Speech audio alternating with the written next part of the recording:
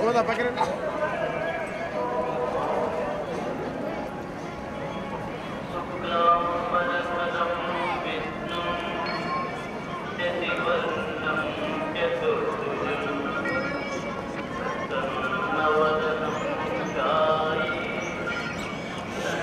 Thank you.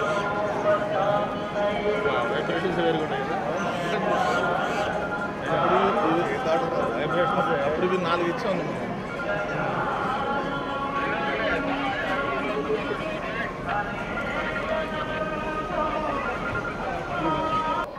కొత్తగా ఏర్పడ్డ మన రాష్ట్రం. మరి ఒక రాజధాని నగరం కూడా లేకుండా దాదాపు పదిహేడు వేల కోట్ల లోటు బడ్జెట్ తోటి స్టార్ట్ అయిన ఈ రాష్ట్రం.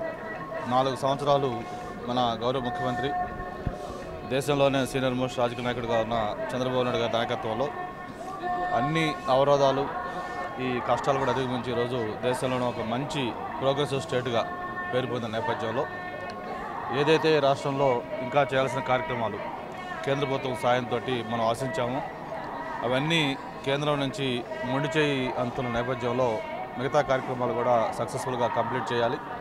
ముఖ్యంగా మన ప్రజా రాజధాని అమరావతి కానీ మన జీవనాడి పోలవరం కానీ సర్వేగంగా పూర్తి చేయాలి.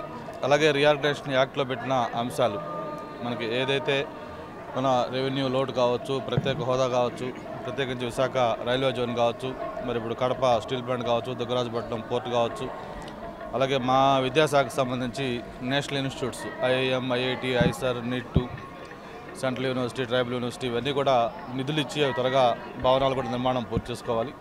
ఇవన్నీ పూర్తి అయ్యేదానికి స్వామి యొక్క ఆశీస్సులు కూడా కావాల్సిన అవసరం ఉందని చెప్పిన కూడా తెలియజేసుకుంటూ మరి చూస్తూ ఉన్నాం. ఇంతవరకు భారతదేశంలో ఏ ముఖ్యమంత్రి కూడా నేరుగా ఒక ప్రధానమంత్రి మీద పోరాటం చేయాల్సిన పరిస్థితి ఇప్పటిదాకా రాలేదు. ఈ రాష్ట్ర ప్రయోజనాల కోసం ఈ రాష్ట్ర అభివృద్ధి కోసం అటువంటి సాహసానికి మన ముఖ్యమంత్రి గారు ఈరోజు దిగారు.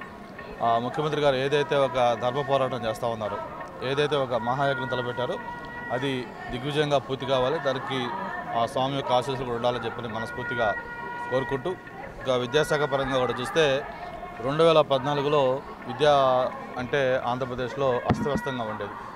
దేశంలో ఒక పదిహేడో స్థానంలో ఉండేది.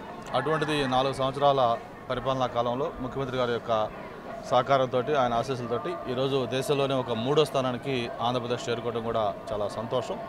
మరి అది నెంబర్ వన్ పొజిషన్కి త్వరలోనే చేరుకునేదానికి కూడా అన్ని రకాల ప్రయత్నాలు చేస్తున్నామని చెప్పి కూడా తెలియజేసుకుంటూ మరి ఎడ్యుకేషన్ ఇన్స్టిట్యూట్స్కి ఇన్ఫ్రాస్ట్రక్చర్ కానీ అలాగే టీచర్స్ కానీ యూనివర్సిటీస్లో ప్రొఫెసర్స్ రిక్రూట్మెంట్ కానీ క్యాపిటల్ గ్రాంట్ కానీ అలాగే టెక్నాలజీ ఈ వర్చువల్ డిజిటల్ క్లాస్ రూమ్స్ కానివ్వండి ఇవన్నీ కూడా ఈరోజు పెద్ద ఎత్తున దేశంలో ఎక్కడా చేయని విధంగా ఆంధ్రప్రదేశ్లో చేస్తూ ఉన్నాం. అందుకే ప్రభుత్వ పాఠశాలపైన ఇప్పుడు ఒక నమ్మకం పెరుగుతూ ఉంది. కార్పొరేట్ పాఠశాలలు ప్రైవేట్ పాఠశాలతో పాటు పోటీగా ప్రభుత్వ పాఠశాలలో కూడా పిల్లలు జరిపించేదానికి తల్లిదండ్రులు ముందుకు వస్తూ ఉన్నారు. ఇది ఒక మంచి పరిణామం అని చెప్పిన కూడా తెలియజేసుకుంటా ఉన్నాం.